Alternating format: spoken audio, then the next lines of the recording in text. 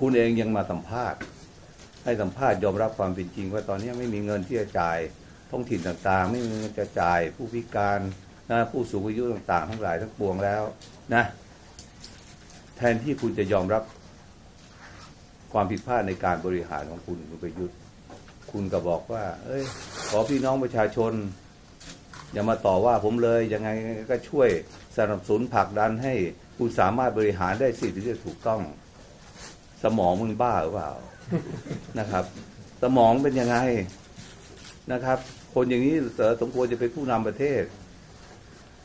ผู้นำนะครับ ต้องมีความซื่อสัตย์เสียสละและกล้าหาญนะครับ ถามว่าคุณประยุทธ์มีไหมมีไหมตักตัวเนี่ยนะ ไม่มีเลยนะไม่มีความซื่อสัตย์ก็ไม่มี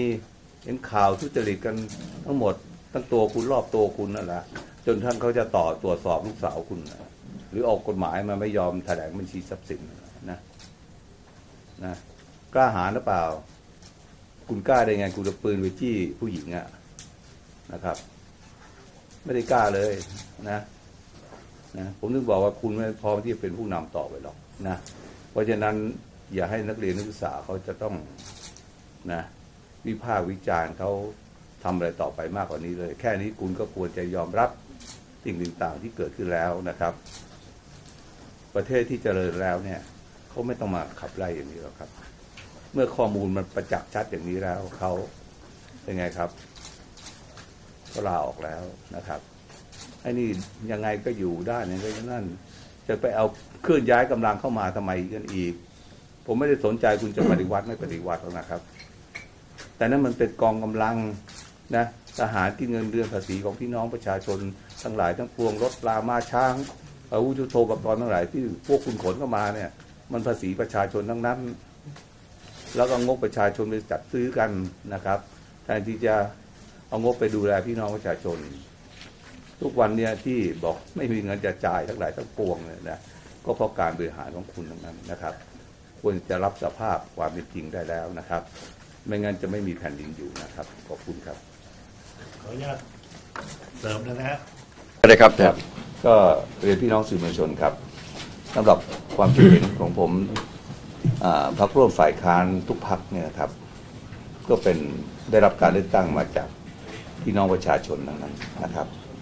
ซึ่งมันจะขัดข้องหรือไม่ตรงกับคุณประยุทธ์หรอกเพราะคุณประยุทธ์เนี่ย ไม่เคยเลือกตั้งถูกไหมฮะมันยึดอำนาจก็ยึดอำนาจมา นะหรือจะมาเป็นนายกรัฐมนตรีเนี่ยตัวเองก็ไม่เคยลงเลือกตั้งเลย เพราะฉะนั้นพื้นฐานตรงเนี้ยมันจึงแตกต่างกันระหว่างความคิดของพรรคร่วมฝ่ายค้านกับตัวคุณประยุทธ์พรรคร่วมฝ่ายค้านในเมื่อมาจากพี่น้องประชาชน เราก็ยินดีให้พี่น้องประชาชนนะครับ แม้กระทั่งนิสิตนักศึกษาทั้งหลายทั้งปวงเนี่ยจะวิพากษ์วิจารณ์เราได้ ตรวจสอบเราได้นะครับ ถ้าเราไม่ดีนะครับ เราก็น้อมรับนะครับ ที่จะไปปฏิบัติ แต่ถ้าดีนะครับ ผมเชื่อว่าพี่น้องประชาชนนิสิตนักศึกษาทั้งหลายเนี่ยก็จะสนับสนุนพวกเรานะฮะ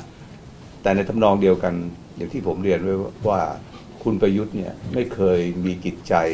ไม่เคยมีหัวใจเป็นประชาธิปไตยเลยก็สังเกตจากการเข้ามานะเป็นนายกรัฐมนตรีสมัยคอรชคุณก็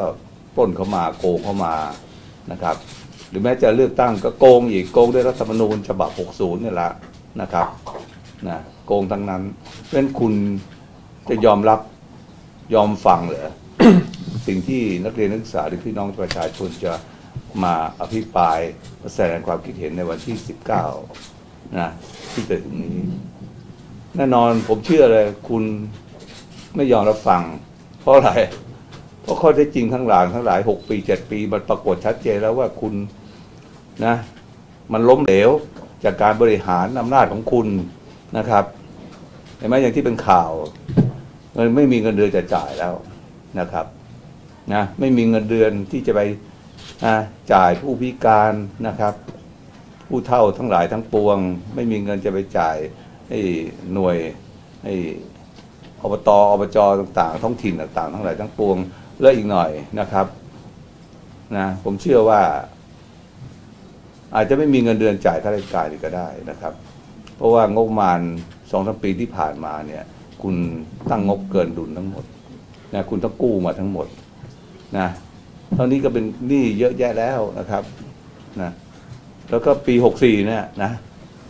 คุณก็ต้องกู้อีกอะ ดูแล้วนะครับจะเหลืออะไรนะครับ แล้วคุณไม่ยอมรับ สิ่งที่คุณทำไว้บ้างเหรอคุณเองยังมาสัมภาษณ์ ให้สัมภาษณ์ยอมรับความเป็นจริง ว่าตอนนี้ไม่มีเงินที่จะจ่ายท้องถิ่นต่างๆ ไม่มีเงินจะจ่ายผู้พิการนะผู้สูงอายุต่าง ๆ ทั้งหลายทั้งปวงแล้วนะแทนที่คุณจะยอมรับความผิดพลาดในการบริหารของคุณคุณประยุทธ์ คุณก็บอกว่า เอ้ย ขอพี่น้องประชาชน อย่ามาต่อว่าผมเลยยังไงก็ช่วยสนับสนุนผลักดันให้ คุณสามารถบริหารได้สิ่งที่จะถูกต้อง สมองมึงบ้าหรือเปล่านะครับ สมองเป็นยังไงนะครับ คนอย่างนี้เต๋อสมควรจะเป็นผู้นำประเทศ ผู้นำนะครับ ต้องมีความซื่อสัตย์เสียสละและกล้าหาญนะครับ ถามว่าคุณประยุทธ์มีไหมมีไหมสักตัวเนี่ยนะ ไม่มีเลยนะไม่มีความซื่อสัตย์ก็ไม่มี เห็นข่าวทุจริตกันทั้งหมดทั้งตัวคุณรอบตัวคุณนั่นแหละจนท่านเขาจะต่อตรวจสอบลูกสาวคุณนะหรือออกกฎหมายมาไม่ยอมแถลงบัญชีทรัพย์สินนะนะกล้าหาญหรือเปล่า คุณกล้าได้ไงคุณจะปืนไปจี้ผู้หญิงอะนะครับ ไม่ได้กล้าเลยนะนะผมถึงบอกว่าคุณไม่พร้อมที่จะเป็นผู้นำต่อไปหรอกนะ เพราะฉะนั้นอย่าให้นักเรียนนักศึกษาเขาจะต้องนะ วิพากษ์วิจารณ์เขาทำอะไรต่อไปมากกว่านี้เลย แค่นี้คุณก็ควรจะยอมรับสิ่งต่างๆที่เกิดขึ้นแล้วนะครับ ประเทศที่เจริญแล้วเนี่ยเขาไม่ต้องมาขับไล่อย่างนี้หรอกครับ เมื่อข้อมูลมันประจักษ์ชัดอย่างนี้แล้วเขาเป็นไงครับก็ลาออกแล้วนะครับไอ้นี่ยังไงก็อยู่ด้านยังไงก็นั่น จะไปเอาเคลื่อนย้ายกำลังเข้ามาทำไมกันอีก ผมไม่ได้สนใจคุณจะปฏิวัติไม่ปฏิวัติหรอกนะครับ แต่นั้นมันเป็นกองกำลังนะทหารที่เงินเดือนภาษีของพี่น้องประชาชนทั้งหลายทั้งปวงรถปลามาช้างอาวุธยุทโธปกรณ์ทั้งหลายที่พวกคุณขนเข้ามาเนี่ย มันภาษีประชาชนทั้งนั้น แล้วก็งบประชาชนไปจัดซื้อกันนะครับแทนที่จะเอางบไปดูแลพี่น้องประชาชน ทุกวันเนี่ยที่บอกไม่มีเงินจะจ่ายทั้งหลายทั้งปวงเนี่ยนะก็เพราะการบริหารของคุณทั้งนั้นนะครับ ควรจะรับสภาพความเป็นจริงได้แล้วนะครับ ไม่งั้นจะไม่มีแผ่นดินอยู่นะครับ ขอบคุณครับขออนุญาตนะครับ ท่านไปหวาดกลัวอะไรนะครับ ถึงแม้ท่านจะเป็นข้าราชการนะครับ ที่รับเงินเดือนจากภาษีประชาชนนะอยู่ใต้การปกครองของรัฐมนตรีว่าการกระทรวงอุดมศึกษา อยู่ใต้การปกครองของนายกรัฐมนตรีก็ตามนะท่านก็ต้องมีความคิดนะมีความกล้าหาญในการที่จะตัดสินใจกระทำนะใด ๆ ต่าง ๆ อย่าให้ ไอ้สิ่งต่างๆนั้นนั้นนะ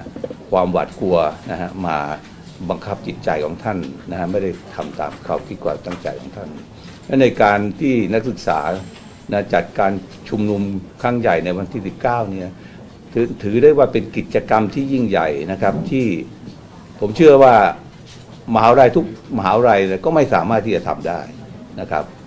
เมื่อมหาวิทยาลัยไม่มีปัญญาที่จะทำนักศึกษาก็ทำได้แล้วนะ นะอธิการทุกท่านนะครับ มันก็ควรจะต้องให้การสนับสนุนอย่างเต็มที่นะครับ อย่างเต็มที่ในการชุมนุมในครั้งนี้ผมเชื่อเลยว่านะนิสิตนักศึกษาทั้งหลายทั้งปวง หรือแม้แต่พี่น้องประชาชนที่จะมาร่วม ที่ไม่ได้ร่วมเขาก็ไม่ได้มาร่วมอะไรกับรัฐบาลหรอกนะครับ ก็มาร่วมนะเป็นกำลังใจให้นักศึกษานะครับ หรือบางคนก็น้ำเอาท่าอะไรมาสนับสนุนบ้างแค่นั้นเองนะครับเพื่อให้กิจกรรมนี้รุ่ร่วงไปได้ดีก็ขอให้ ท่านอธิการนะครับ ของมาทุกมหาวิทยาลัยได้นำไปคิดซะด้วยนะ เพราะท่านจะต้องเป็นตัวอย่างกับนักศึกษานะครับ ไม่งั้นแล้วจบจากนี้ไปนะท่านก็จะหมดอนาคตไปด้วย เพราะว่าท่านไม่สามารถที่จะทำตามที่ท่านสอนท่านสั่งนักศึกษาได้นะครับครับขอบพระคุณครับพี่ครับครับ